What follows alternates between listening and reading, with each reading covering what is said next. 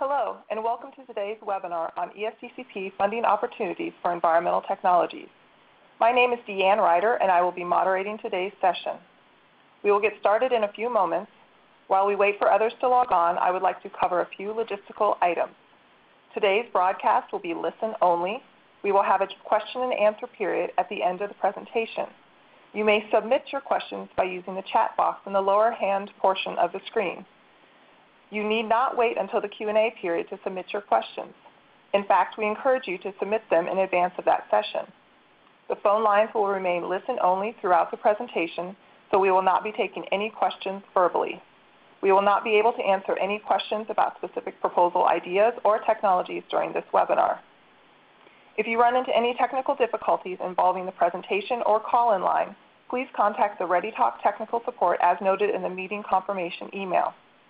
Please note that both the audio and the presentation of today's session will be archived on our solicitation webpage in case you would like to refer to them in the future.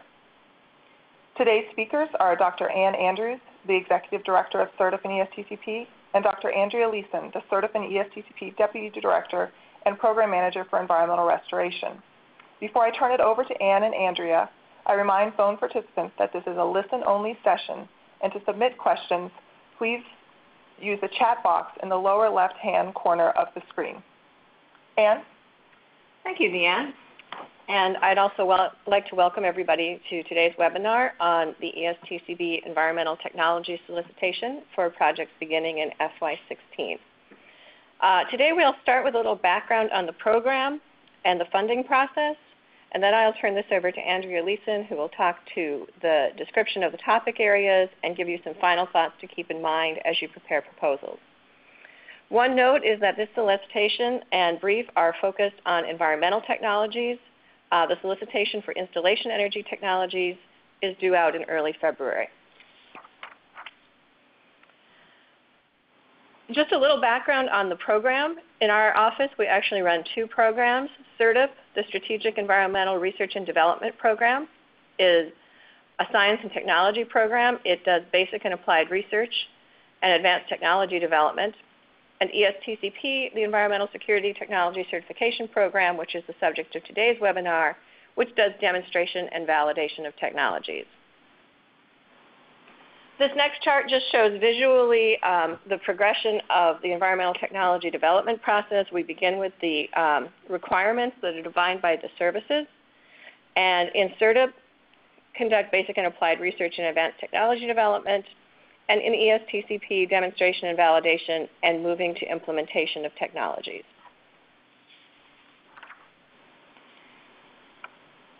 The goal of ESTCP is to demonstrate innovative, cost-effective environmental technologies that capitalize in past investments, perhaps from SERDP, perhaps from other government investments or investments by private industry, and technologies that are ready to transition out of the lab.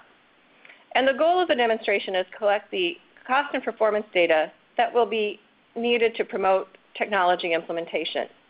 And we look for direct technology insertion into DoD's processes and we also look to gain regulatory acceptance.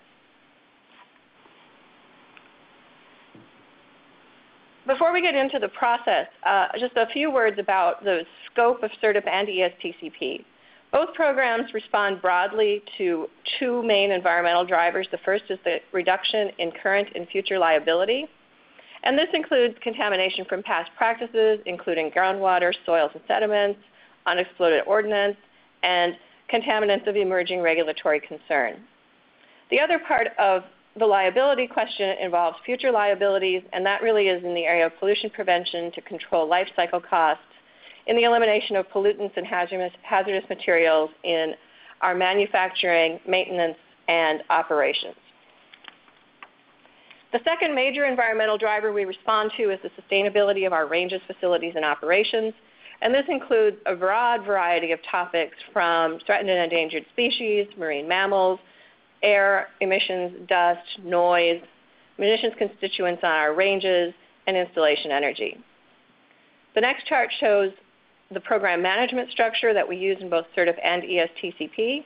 We have program managers in the areas of weapon systems and platforms, resource conservation and climate change, munitions response, environmental restoration, and energy and water. And you'll find the solicitation is organized into these program areas. A little bit about what we're looking for in ESTCP demonstrations. The desired technologies are really those things that can benefit from a demonstration on a DoD installation that are focused on high priority problems for DoD, and where a demonstration will properly assess the cost and performance of, of, the technology and allow managers and regulators to make decisions about whether it will be useful on their sites. We're really looking to use this information to accelerate commercialization and broader adoption of new technologies that will improve our environmental performance, decrease costs, decrease timelines to uh, deal with environmental problems. Mature technologies that are already in use or with well-established operational cost and performance are not appropriate for demonstration and validation. But at the same time, technologies will need to be sufficiently mature that a demonstration will result in meaningful data that will allow people to make decisions about its use. The ESTCP methodology, we start with um, part, forming a partnership with the stakeholders and do tests at DoD facilities. We try and involve early on the technology developers, the regulators, and the end users, and everyone who has a stake in the technology. The demonstration validates the operational cost and performance. It's an independent test and evaluation that we try to satisfy the needs of the user and regulatory communities. And then finally, we try to identify DoD market opportunities and um, activities that will uh, encourage technology transfer.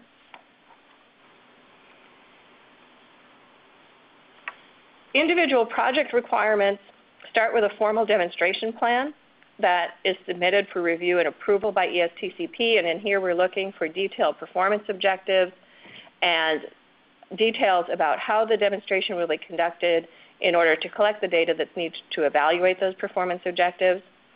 Then um, the technology demonstration takes place to collect all of the data that is outlined in the demonstration plan we look for written cost and performance reports, and almost more importantly, we look for support for technology transition.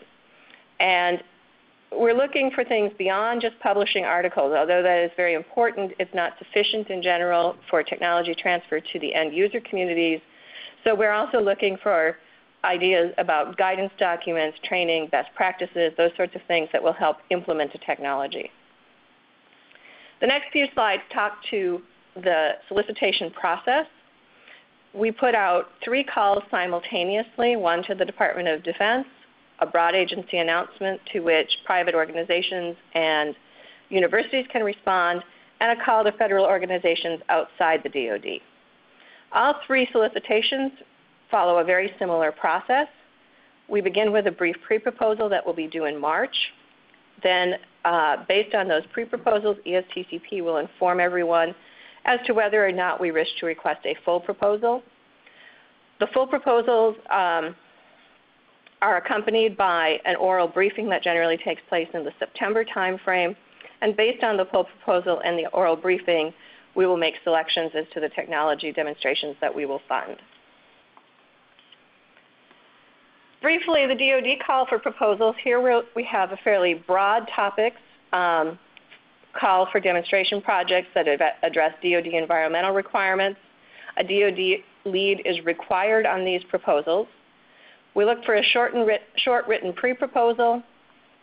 Then we request full proposals. We may recommend some modifications based upon the pre-proposal. And then we do the selections based on the full proposal and the oral, oral presentation. The broad agency announcement and call for proposals outside the DoD start with a somewhat narrower call for technologies, and the specific topic areas are a bit narrower, and Andrea will walk through that in a few minutes. And similarly, we ask for a short written pre-proposal from which we will request full proposals. Um, organizations outside the DoD responding to both the BAA and the call for federal organizations will be um, assigned a DoD liaison uh, who can assist with site selection and technology transition, both in terms of identifying barriers and opportunities. And then the selection process is quite similar with a full proposal and the oral presentation. And now I will turn it over to Andrea, um, and she can walk through the um, solicitation topics. Thanks, Anne. Uh, this year, we've released two topic areas under our broad agency announcement and under the federal the announcement for the federal organizations other than DoD. Under environmental restoration, we've released a topic on management of contaminated groundwater. The main objective for this topic is to seek proposals that develop tools and technologies that help reduce the cost of DoD's long-term liability associated with contaminated groundwater. We're particularly interested in the most difficult to treat sites where management is most likely to be needed for many years. Assessment of how best to combine technologies to address these sites is also of interest, as are tools to help with making this decision to transition from active to passive remediation technologies. Finally, optimization, assessment, and long-term monitoring tools are of interest. Proposals are limited to those addressing the contaminants of chlorinated solvents, energetic compounds, and emerging contaminants of interest to the DoD. Under the Munitions Response Program, we've released a topic area on detection, classification, and remediation of military munitions in the underwater environment. Technologies that will facilitate management of underwater munitions sites are also of interest. Technologies can be applicable to ponds, lakes, rivers, estuaries, and coastal or open ocean areas. The munitions of interest range from small projectiles and mortars to large bombs, but proposals do not need to address the entire range of potential munitions. Please also note that proposed technology should have completed required proof of concept work that shows evidence of the technology's capabilities. For our DoD call for proposals, we've, re we've, released topics in four of our program areas, environmental restoration, munitions response, resource conservation, as well as weapons system and platforms. Under environmental restoration, we're seeking proposals in three main areas, monitoring, reduction in the cost to complete, and wastewater treatment. Monitoring technologies can address chemical or biogeochemical parameters of interest in soil, sediments, or water. Technologies addressing reduction in the cost to complete are sought for contaminated groundwater, or for contaminated aquatic sediments. Wastewater treatment technologies are sought that are energy efficient and low maintenance. Under the Munitions Response Program, as with the BAA, we're specifically seeking technologies that address munitions response in the underwater environment through either wide area and detailed surveys or cost-effective recovery and disposal. Recovery and disposal, disposal should focus on recovery in the shallow water environment and should address explosive safety issues. Under the Resource Conservation Program area, we're seeking proposals under the sustainable management of natural resources, as well as under air quality, specifically um, issues associated with management of fugitive dust and fire emissions. Under sustainable management of natural resources, three areas are of particular interest. These are ecological systems, living marine resources ecology and management, and species ecology and management.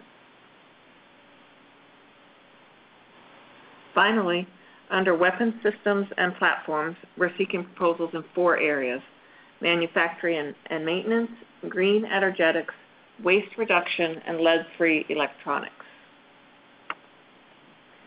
On this slide, we have the dates relevant to the solicitation process. Um, our solicitation was released on January 8th. The short pre-proposals are due March 12th at 2 p.m. Eastern Time. This is a hard deadline. Um, I really recommend you not wait until 1:55 to submit as um, the system can get loaded down. Please get those in early. We will request full proposals in the June 2015 timeframe with full proposals due in August 2015. All proposals, all full proposals that are requested do require an oral presentation before the ESTCP Technical Committee in September of 2015 with projects selected in October, the following month. Um, anticipated awards, we believe, will occur in about March of 2016. The selection criteria for our proposals are, um, quite clear and standard and are presented here in roughly the order of importance. The very first one, most importantly, is relevance. It's very important that your proposal directly address one of the topic areas that we've just um, gone through. And it's also, that is a pass-fail criterion.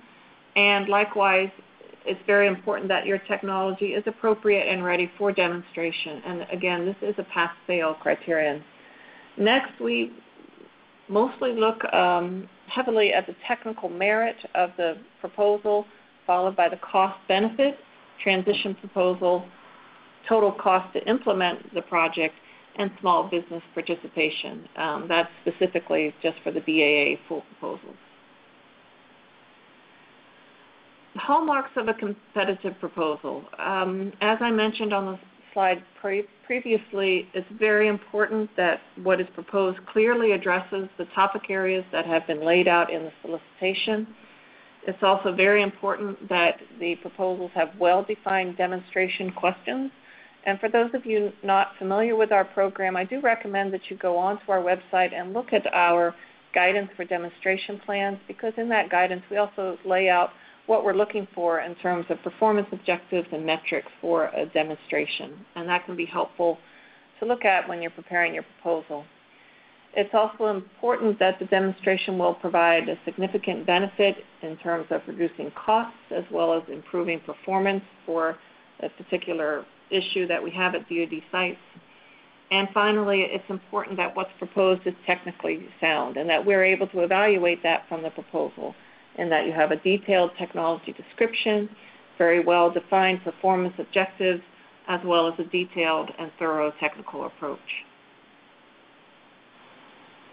Additional information about our program can be found at our website here.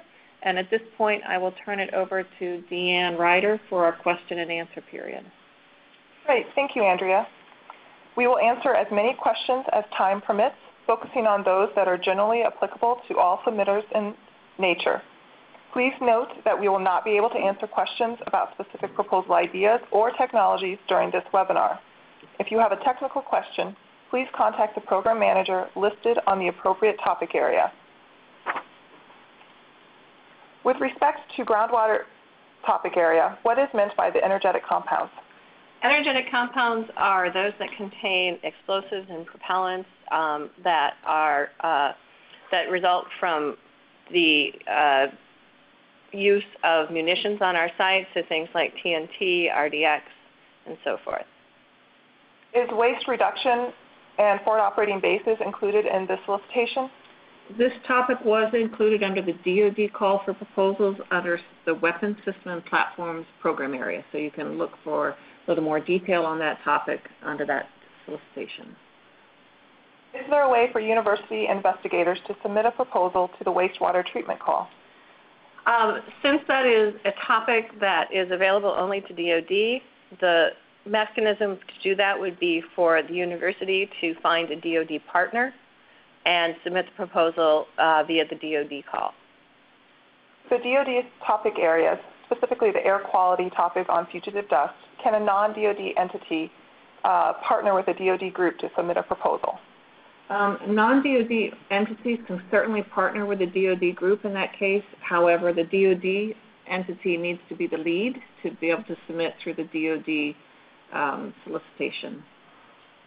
What if the proposal covers two topic areas?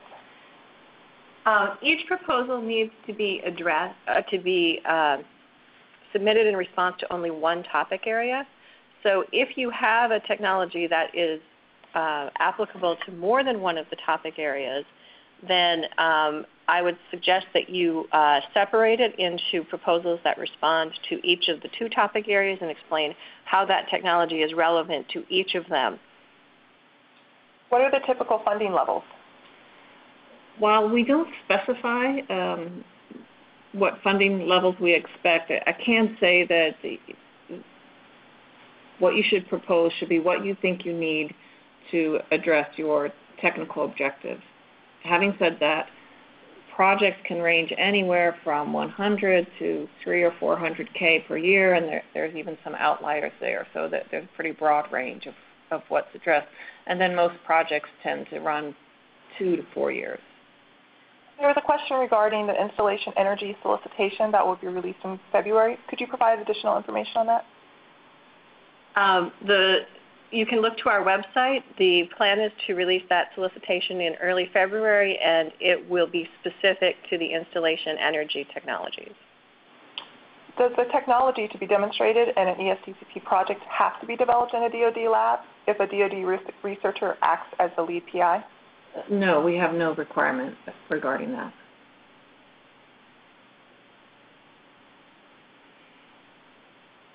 What is the definition of a DoD group?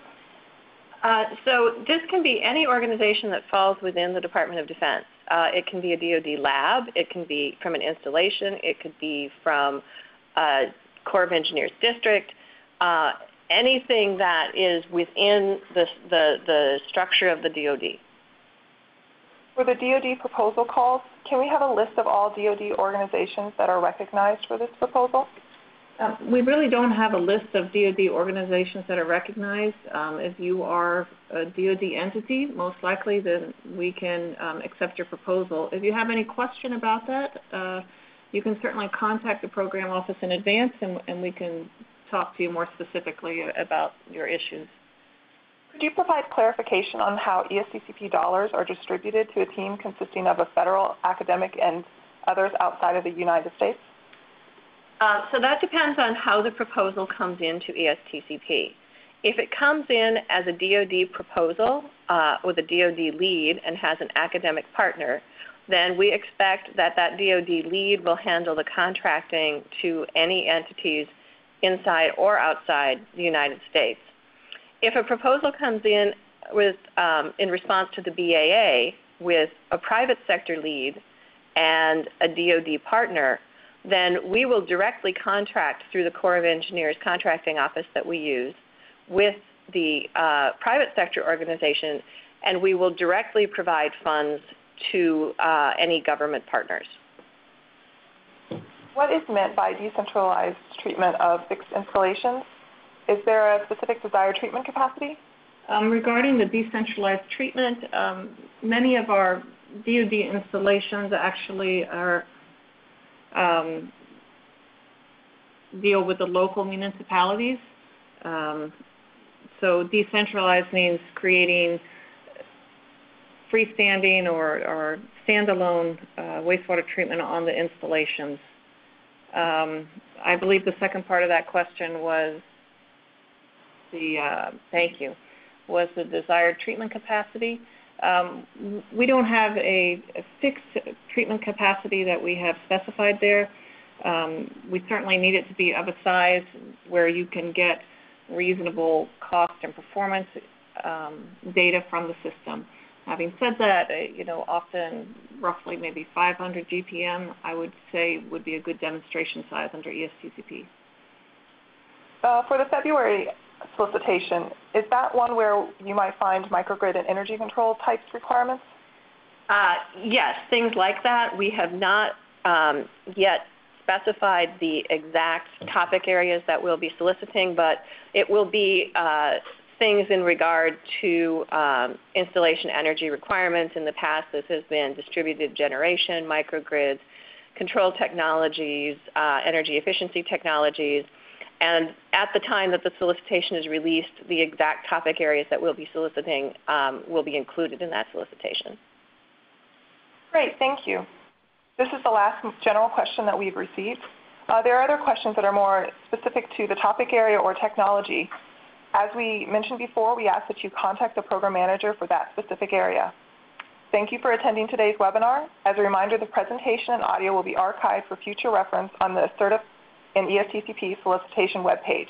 This concludes today's webcast.